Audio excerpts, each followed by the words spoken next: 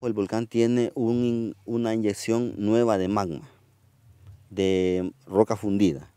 Entonces, esto es lo que hemos estado observando con estas crisis. Una deformación en el cráter del volcán de San Miguel ha aumentado la sospecha sobre una erupción de magnitud considerable. Con material incandescente, es decir, con lava, quizás como todo mundo esperaría verlo. Según los vulcanólogos del Ministerio de Medio Ambiente, los indicios de distorsión en la forma demuestran que hay una recarga de magma que de continuar podría terminar en una expulsión. Podríamos esperar o una o una erupción por los laterales, como las ocho erupciones que ha tenido en los últimos 200 años, o un lago de lava por la parte de arriba en el cráter, como la que tuvo en 1976, que esta actividad duró aproximadamente 5 o 6 meses de acuerdo con los expertos, la actividad del volcán se ha triplicado desde la explosión registrada el pasado sábado.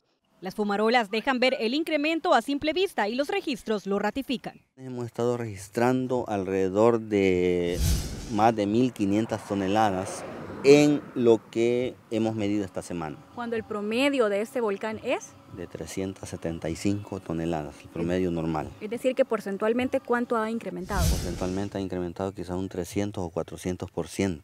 Y en el caso de darse una emergencia, el llamado es para los pobladores de al menos 5 kilómetros a la redonda del cráter, a que atiendan las indicaciones de los elementos de protección civil.